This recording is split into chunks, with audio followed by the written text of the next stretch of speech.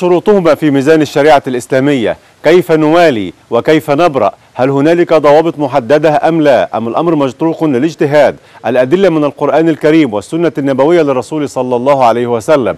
ما منهج السلف الصالح في الولاء والبراء؟ ومن نوالي وممن نبرأ؟ هل نحن في حاجة ماسة لتطبيق عقيدة الولاء والبراء الآن؟ وهل تبخرت هذه العقيدة من بين ظهراني المسلمين أم هي موجودة؟ وهل نحن في حاجة إلى تفعيلها؟ وكيف نربط بين الولاء والبراء وبين التعايش داخل الأوطان بين العالمين الجليلين العدلين الثابتين أصحاب المعالي والفضيلة؟ فضيلة الشيخ الأستاذ الدكتور عمر عبد الكافي وفضيلة الشيخ الأستاذ الدكتور محمد راتب النابلسي مرحبا بكم في حلقة جديدة من هذا البرنامج بارك الله بكم ونفع بكم وبكم بإذن. الله تعالى قدركم ولكم مثل وديادة آمين. بإذن الله. تعالى. بارك الله. فيك شيخنا أكرمك الله فيما تحبان أن يدور حوارنا في هذه الحلقة من دين قيما يقترح شيخنا ونحن له تبع والله أنا أقترح. موضوعا هو علة وجودنا في الدنيا. وهو العمل الصالح تمام لقوله تعالى. رب ارجعوني لعلي أعمل صالحا. تمام. ولقوله أيضا م. ولكل درجات مما عملوا. نعم. يعني حجمك عند الله بحجم عملك الصالح. نعم. والعمل الصالح علة وجودك في الدنيا. سليم. هل هل العمل الصالح شيخنا الدكتور عمر لابد أن يتعلق بالولاء والبراء؟ هو جذع العمل الصالح الولاء والبراء حتى يكون صالحا. وإلا ما أثمر عمل. ولاء للمؤمنين بعد الله ورسوله آه. وبراء ممن يحارب دين الله عز وجل. إلا إذا ثبت في جذور قلوب المؤمنين بولاء وبراء جميل دعنا نقف مع فضيلة الشيخ محمد راتب النابلسي على مفهوم الولاء والبراء من مرصدك الخاص ما هو؟ الحقيقة أنه من دون تعقيد مم. أن توالي المؤمنين أن تميل إليهم. نعم. أن تحبهم. نعم. أن تدعمهم. أن تثني على فضلهم. مفردات كثيرة. بس في انتماء للمؤمنين. نعم. وأن تتبرأ من الطرف الآخر. من الطرف الآخر؟ غير المؤمنين. غير المؤمنين. ألطف كلمة. سليم. نعم. طب إذ- إذا تعلق الأمر أيضا بالمسلمين الذين لا يقيمون حدود الله سبحانه وتعالى. آه. نتبرأ منهم لا؟ لا. لي مهمة معهم. قال له ما حكم تارك الصلاة للإمام الغزالي؟ نعم. قال له أن تأخذه معك إلى المسجد. مم. فغير سليم. المؤمن أنا آخذ بيده إلى آه. الطاعة إلى الاستقامة إلى أداء الفرائض. تمام. شيخنا دكتور عمر هل للولاء والبراء حدود مع مراعاة أن غير المسلمين يقطنون مع المسلمين في وطن واحد؟ كيف يحل هذا الإشكال؟ اولا من فضل الله عز وجل أن المؤمن يحمد رب العباد عز وجل أنه من القسم الذي عافاه رب العباد سبحانه. نعم. الناس قسمان معافى ومبتلى. تمام. فاحمدوا الله على العافية وارحموا أهل البلاء. مش اكرهوا أهل البلاء مم. ارحموا أهل البلاء. لماذا اكرهه وكيف رحمتهم؟ نعم. أرحم أهل البلاء بأن أكون قدوة أمامه وبعدين أن أحن عليه مم. وأحن إليه وأقترب منه.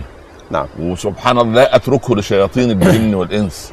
وإنما يجب علي علي أنا مسؤولية أنني من أمة أمرت أن تأمر بالمعروف وأن تنهى عن المنكر. نعم. فبدلا من أن أعلن يعني أمامه أنني بريء منك وإنني لا أحبك هذا كلام صادم. وإنما أنت أخي في الإنسانية. نعم. كلنا لآدم وآدم من تراب. قد نختلف في مذاهب وشرائع وملل لكن تحتوينا هذه الأرض. فتعال لتسمع مني. واسمع تمام. مني لا تسمع عني. بهذا نشرح صدورنا له لعل الله عز وجل أن يجعل بيننا وبين الذين كفروا منهم موده. آمين يا رب العالمين. شيخنا الاستاذ الدكتور محمد راتب النابلسي بارك الله فيك، هل للبراء من غير المسلمين حدود قصوى في الشريعة الإسلامية؟ هل تسمحوا لي أن نسمح سيدي. أبدأ بشيء أراه ض- ضروريا جدا تفضل سيدي. ما حكم هذا اللقاء مع الطرف الآخر مم. هل يستمر أم ينقطع؟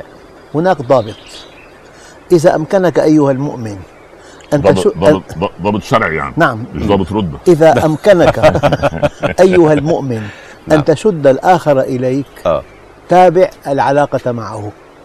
أما إذا شعرت أنه شدك إليه هنا في مشكلة. أنا أقيم علاقة ما دمت قادر على أن أنمي هذه العلاقة. لصالح الطرف الآخر تمام أما إذا ثبت لي أنه قد يغويني فالأولى أن أبتعد عنه مم. ابتعاد ناعم هنا البراءة تكون نعم آه. ابتعاد ناعم غير عنيف أيوة غير من دون كلام قاسي مم. أنا أنسحب منه بالتد- بالتدريج نعم والله بقول أنا أنا فضيلة الشيخ إذا يعني إذا أذنت لي ووافقتني استغفر الله، أنت. أستاذنا. الله يخليك. استغفر الله آه يعني الصاحب عندما يصاحب آخر لما كلمة صاحب سبحان الله مم. الذي يصاحب من هو خير منه لذلك سمي الصحابة صحابة لأنهم صاحبوا رسول الله صلى الله عليه وسلم صحيح أصحاب الفيل لأن الفيل كان أفضل منهم مم. أبى أن يهدم الكعبة وهم سليم. أرادوا أن يهدم.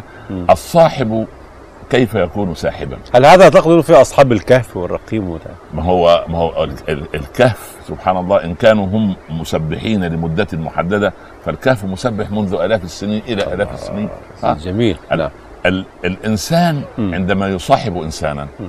لا يبث الصاحب لصاحبه أسراره إلا إذا طالت صحبته تمام سليم طيب إذا كان من منطق الولاء أن أصادق وأصاحب القرآن زمنا تلاوة واستماعا وتطبيقا بث لي القرآن من أسراره مم. فإذا بث الم- المؤمن القرآن من أسراره صار انسانا قرانيا تتلقى صفحات قلبه سطورا من مداد من نور كما كان الصحابة يتلقون من رسول الله صلى الله عليه وسلم. صلى الله عليه فلم يكتب الرسول ال- القرآن في مصحف في بداية الأمر. وإنما كتبه بمداد كلماته الطيبة على قلوب الصحابة فنقشت مصحفا. نعم. فلما صاحبوه سحبهم إلى الخير. هنا يكون الولاء.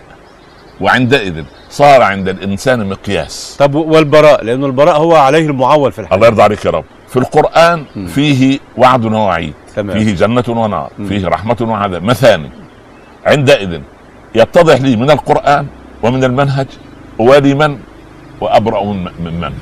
يعني أكون في صنف من وضد من تمام. مع من. و- و- وليس مع من. تمام. هل شيخنا يا أستاذ دكتور محمد راتب النابلسي الولاء والبراء مستنبطة من القرآن الكريم. بآي ال- ال- الذكر الحكيم من حديث الرسول عليه الصلاة والسلام أم هو مجرد اجتهاد فقهي من العلماء؟ هناك استنباطات من نصوص عديدة مم. إنما المؤمنون إخوة فالإنسان طبعا الإيمان درجات صحيح لو واحد أكثر ايمانا والثاني أقل إيمان مم. فيجب أن يأخذ الأكثر بيد الأقل والأقوى بيد الأضعف تمام والمستنير بيد المعمى عليه. مم. عملية تبادل خبرات وعملية أخوة في الله. نعم. لا تحتاج إلى سيطرة ولا إلى تسلط. مم. طبعا. شيخنا دكتور عمر هل هل من متطلبات البراء من غير المسلمين أو من غير المؤمنين أن نحاربهم ونناصبهم العداء شوف. وإن كانوا شركاء وطن وأرض؟ لا لا. الذين لهم ذمة في رقبتنا وعهد. هؤلاء مؤمنون في بلاد المسلمين مهما كانت قلتهم مم. لو أن ذميا في بلدنا أو معاهدا في بلدنا وظلمناه الرسول خصمه يوم القيامة ولو كان واحدا؟ ولو كان فردا مم. لأن إذا ظلمته فقد ظلمت كل أهل ذمته وكل من يخالفك في الدين بل بالعكس لا أنا من الواجب أوسع له صدري وأشعره مم. أنه بين أهله تمام فعندئذ يشعر برحمة المؤمنين ولذلك نحن لا لا نحارب إلا من يحاربنا ويأخذ أرضنا ومقدساتنا وينتهك أعراضنا عندئذ وجبت الحرب عند تحرير أرضنا وتحرير. مقدساتنا لأن لأن المؤمن المؤمن ليس إنما هو سلم. تمام. المؤمن سلم من المسالمة. نعم. آه آه نعم. في قوله تبارك وتعالى شيخنا الدكتور راتب النابلسي لا ينهاكم الله عن الذين لم يقاتلوكم في الدين ولم يخرجوكم من دياركم. الآية الكريمة نعم. إنما ينهاكم نعم. تكملة الآية. كيف نفهم هذه الآيات في سياقيات عقيدة الولاء والبراء نفهمها فكريا. وسلوكيا. كيف؟ دخل النبي الكريم المدينة. صلى الله عليه وسلم. في أول خطاب له قال نعم. قبل. مم. في بالمدينة أوس وثنيون. وثنيون. تمام. وخزرج وثنيون. مم. وأوس مؤمنون. مم. وآخرون مؤمنون. في موالي وفي أعراب وفي يهود. مم. أجناس شتى. أجناس شتى مجتمع فسيفسائي تمام. في أول خطاب له أنا أعد هذا الخطاب أول خطاب وطني. مم. قال أهل يثرب أمة واحدة. مع سلمهم أنهم واحدة. مختلفون مختلفون. سلمهم واحدة وحربهم واحدة. مم. لليهود دينهم ولنا ديننا.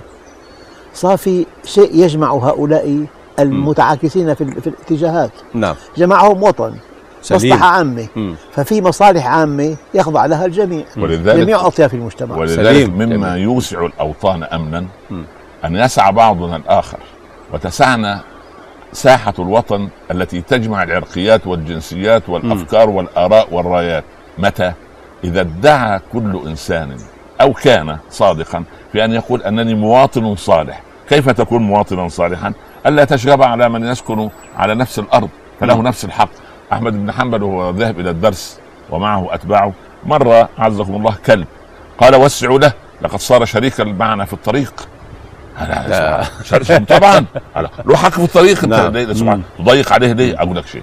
اتفضل هذه الحوادث التي تحدث بين الناس كل ما, ما, ما أجمل هذا الاجتهاد بصراحة يعني. يوسع الطريق لكلب لأنه صار صديقا صار, صار مشاركا صار, صار هذا. ديننا هذا ديننا هذا ديننا ال ال ال الإنسان المؤمن الصادق مم. هو إنسان سبحان الله يسع الكون كله نعم. لأنه هو جزء من هذا الكون. فيجب الا يكون نغمه نشاز في هذا الكون طب هل معنى هذا أفهم من كلام فضيلتكم أنه ينبغي أن تذوب عقيدة الولاء والبراء داخل المجتمعات التي تحمل وتطوي بين دفتيها عقائد وشرائع شتى؟ سبحان الله يعني يعني لم لما قال لكم دينكم ولي دين. لم يقل رب العباد عز وجل لكم دينكم الباطل ولي دين الحق رغم أن هذا. صدق سليم الرسول على مم. واعتبر أن عبادة الكافرين لأصنامهم دينا. لأنه في عرفهم إيه؟ خضوعا. في عرفهم. دين. سليم. يدين يدينون به. نعم صحيح. فالله عز وجل يعني مش ما أنكر عليهم. يعني خاطبهم بنفس في الحوار أرقى حوار راقي هو ما يعرضه القرآن بيننا وبين غيرنا طب جميل لكم دينكم ولي, دين. دين. لم يقل أنا دي على دين الحق وأنتم على دين الباطل نعم. ابدا طب والسؤال مشترك ل... ل... لكم جميعا مع بعضكم البعض كيف نفهم كل هذه السياقات والرسول عليه الصلاة والسلام طرد اليهود من المدينة أولم يفعل؟ ائتمروا لأنه عاقبهم ائتمروا؟ ائتمروا عليه تآمروا. عليه. تأمروا عليه تآمروا. عليه. لا لأن هناك عهد آه وفي. المعاهدات الدولية في. المعاهدات الدولية إذا خان أحد ال- الدول هذه المعاهدة وجبت القطيعة هل ينبغي لمسلم أن يبدأ من حيث انتهى الرسول عليه الصلاة والسلام ويقوم بطرد من يخالفه في العقيدة والشريعة؟ لا لا ليست هذه الرسول كان يؤسس لدولة أم ليست. هذه لي- أليست هذه من متطلبات الولاء والبراء؟ لا ليست من متطلبات الفرد المسلم هذا مما يجب على ولي الأمر أن يفعله شوف تمام. سيد. للحكومات ضروراتها وللشعوب اختياراتها جميل هذه الجملة يعني يعني يعني قد يضطر الحكام إلى تط- التطامن لمعاهدات معينة مم. نتيجة نظرة واسعة لما ي- لما يحدث في العالم من توازنات في حفظ الأوطان مم. قد لا أراها أنا من كالذي حدث الشعب. مع الرسول عليه الصلاه والسلام يعني رجع من مكة الله يرضى عليك. يعني دي, دي- موازنات معينة. أما للشعوب اختياراتها يا أخي أنا لا أقبل هذا الكلام. مش معنى أنني آه، لا لا, لا, أوافق على القرار الذي أصدره الحاكم هذا أنني أشغب عليه أو أنني اشاكسه أو أنني. أهز كرسيه. والله لا يتوطن كرسي الحاكم في مكان إلا بالرأي والرأي الآخر. تمام. طب كلمة أخيرة تقولها لي.